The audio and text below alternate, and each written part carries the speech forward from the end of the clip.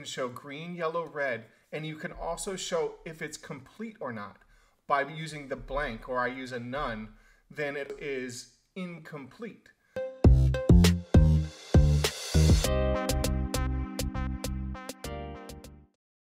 Hey everyone, my name is Andrew Hess, and today I wanted to go over maybe red, yellow, greens, checkboxes, kind of the health of our project management app. We've been working on this app for a while, and, and this was an idea that I used on another app. Checkboxes, do they have to be true, false values?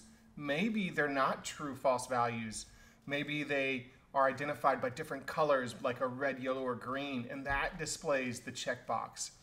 So I'm going to start off by creating a couple new columns.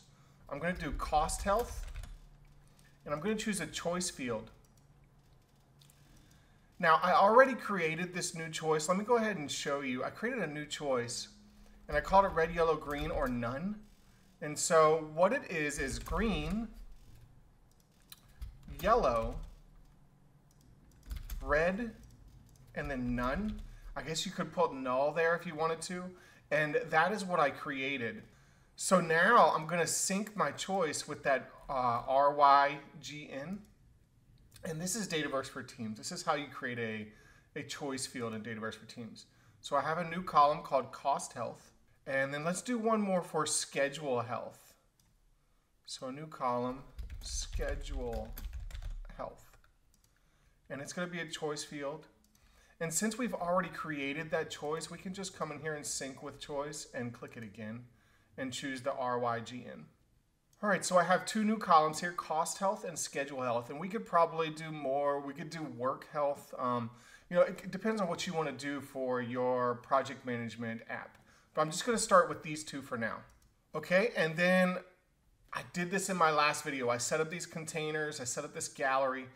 Um, I can't do it again on this video. If you want to see how I set up my galleries, you can watch my last video. I will put that in the description in YouTube of this video. So I'm just going to set up my gallery. Okay, so I have my column set up. I have title, cost health, schedule health. Those are my two new columns.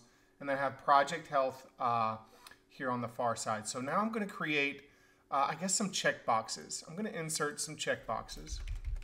Okay, so I have three check boxes now in my gallery. We can see I can check them or I can not check them. And I can check them however I'd like. Now, what I'd like to do is right now, most people think checkboxes are yes, no, true value. But my column in Dataverse was not a Boolean field. It was not a yes or no. There were choices, red, yellow, green, or none. Now I'm gonna fill out the data. I'm just doing this for demonstration purposes. We're gonna actually calculate this later on. But for right now, I'm just putting some data in there so we can see it in our table. Okay, so the first thing I'm going to do is I'm gonna manipulate the checkbox value. So checked, we're looking for checked, here it is. So now this is very different if you use Dataverse or Dataverse for Teams as your backend. If you do this with uh, SharePoint or Excel, it's different. It's probably easier. But think about this. We have a checkbox. We want to make it red, yellow, or green, and we want to make it checked. In order to make it checked, I, I want to say if it's equal to none, then it's not checked. But if it's equal to green, yellow, or red, then it is checked. So what I'm going to say is if this item dot uh, cost health is equal to, now this is where it's weird. We have to use what we chose in options set. I'll show you again. So RYGN, that's what we named our options. Dot, if it's equal to none, then it's false else it's true. So you can see now, we can see only the ones where it was none is it unchecked. And let me show you that field again. So when we go into edit data, and this is just for Dataverse, it may drive you crazy a little bit, and maybe you want to work on a naming structure. But right here, it's kind of grayed out right now, but sync with this choice. It's RYGN. That's how we're identifying the choice value. So maybe um, I think Shane Young did it a different way. He told you to always name it options, but uh, it doesn't make sense when you have multiple columns that use that uh, that choice. So I'm just going to call it red, yellow, green, none. I like that. I like that. I, I got that memorized. Maybe you have a different way uh, of naming things. So for schedule health, I'm going to do the same thing. Checked. I'm just going to copy this and I'm going to go to checked over here. I'll paste it in. Instead of cost health, I'm going to do schedule health. Okay, and then project health, I'm going to leave it as it is for now. Now, in the checkbox, what I'm going to do is I'm going to go to the, I believe it's right here on the right side. Let's see if I change the color. That's the color I want. So this is called checked checkbox fill. Check checkbox background fill. I guess that's it right here. So let's change this to a one. Okay, so it changed to a black 0001 is, is black. So now what I'm gonna do, and I'm just gonna say if this item, if this item dot cost health is equal to RYGB, RYGN dot green, then we're going to say it's green. We could actually write in the word green. Maybe that's um, what we want to, we'll just make it simple. We'll write in the word green. And it, I, I guess it's color dot green, color dot green. Okay, now, if and we're going to nest our ifs in here. We could do a switch if we wanted to. Maybe we'll go into both of those. If this item dot cost health equals rygn dot red, then color dot red. Else it's yellow. Else it's color dot yellow. And then we're going to need our parentheses correct.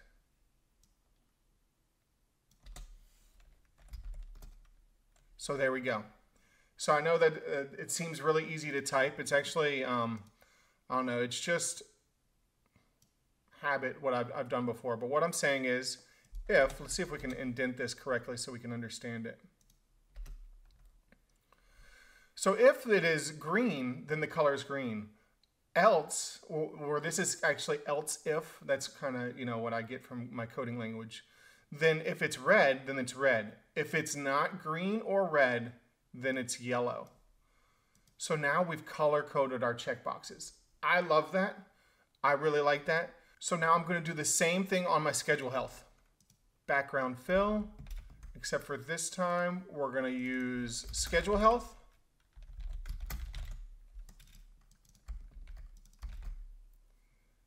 So there we go. So that is going to match up exactly with my data that I filled in in Dataverse. Now, in the end, what I want is I want this to be calculated. So that's why when we patch our statement, we're going to patch uh, based off baseline cost and we'll compare it to our actual cost and then we'll write in the field if it's red, yellow, or green. So I'm actually going to remove the text here. I don't like the text. I don't need it to say checkbox. I just want the checkbox there. So now we're going to change these to read only also. So each one of these are going to be read only. So display mode is view. Okay. So it's view only. So we can't actually check these. I like that.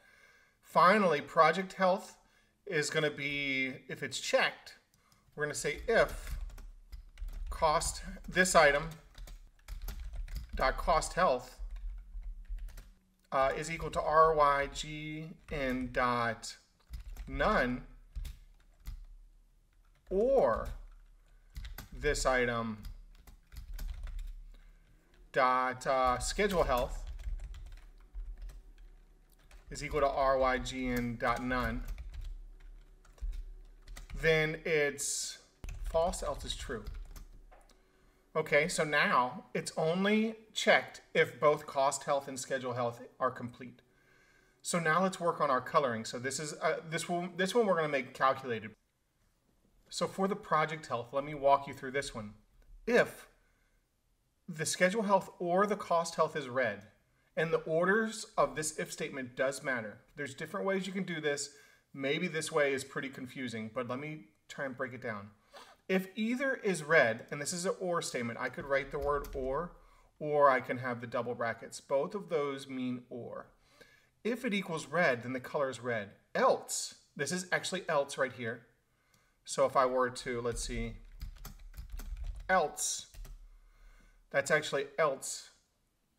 If either is yellow, either the schedule health or the cost health is yellow, then the color is yellow. If nothing is red or yellow, finally it becomes green.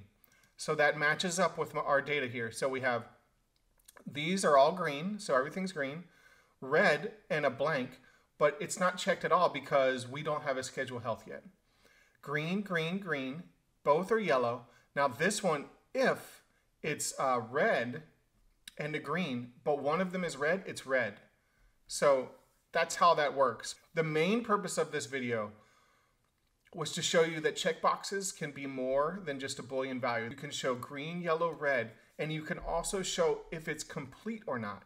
By using the blank or I use a none, then it is incomplete. That's just another thing I wanted to show you. This comes from uh, Harvard Business Review. I just found this article online and it goes into green, yellow, red. You know, make priorities clear with green, yellow, red. Perhaps the greatest value of green, yellow, red management is it allows you to do exception-based management. You know, as humans, we focus, you know, on what makes green, yellow, red. So maybe it's kind of obvious that these colors really um, work for you, but it's it's a really nice way to display data really quickly to maybe your C class level people. So your project managers, your PMAs, or your your CEOs, if they can look at your projects and see cost health, schedule health, project health very quickly and they can see red, yellow, greens, this is what they want. But being able to display all the data really quickly with just a red, yellow, green, our eyes, our, our brain, it works that way. And we can focus at hand of which projects maybe that we need to focus on. We can see all of these projects are green or incomplete or yellow, but we know right here, this DocuSign rollout to on-premise, it's in trouble. Red does not mean bad. Red just means we need to improve. And so we can now focus on this project because the health is gone bad. Maybe the, the cost is over. So that's the idea of using red, yellow, greens in project management. And I know it's a very simple concept, but using these checkboxes in this way, instead of just doing a yes or no Boolean value, we can add color to it. This is a really neat idea. I feel like it can improve any project management app that you create and we're going to try and implement this more into our project management app that we've been working on. So if you've been watching all my videos, I'm going to miss next week, but I'll be back the next week and we'll keep working on this app. So thank you all for watching. I'll see you next time.